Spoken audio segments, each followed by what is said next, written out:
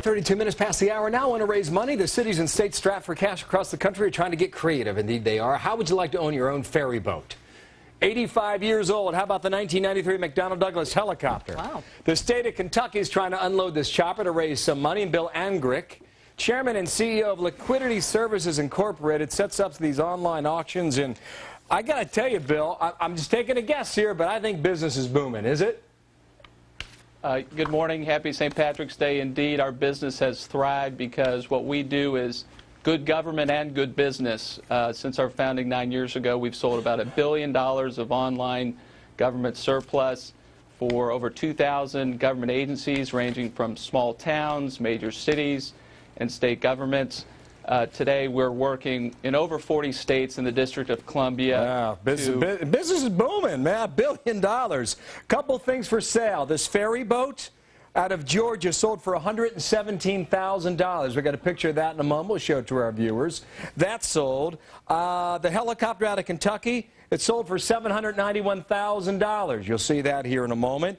The fireboat out of Baltimore sold for 80 grand. I think that that's ancient. It's like 85 years old. Is it, Bill?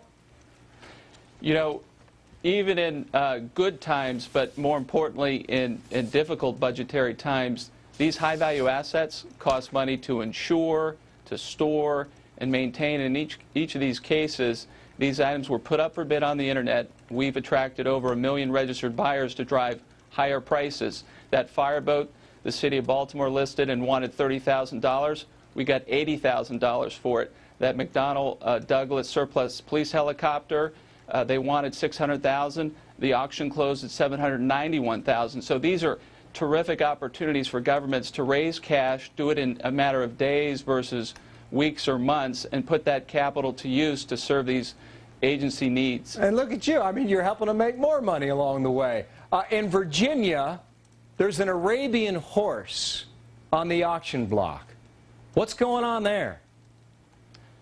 You know, I think what this really represents is that any type of any type of item has uh, uh, a productive use. We have small businesses and end users, including folks that would have a, a safe home for that horse, uh, that will pay good money to an agency that no longer has the space or the desire to you know, maintain that, that item. And what this also represents is really transparency. We've heard a lot from our government leaders about transparency.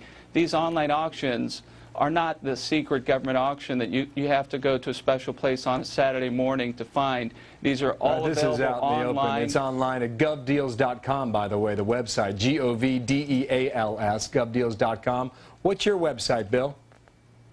Yes, uh, the parent company is uh, liquidityservicesinc.com. GovDeals serves our government uh, municipal sellers you know, with about 60,000 government agencies uh, in the United States. We think this is the way of the future.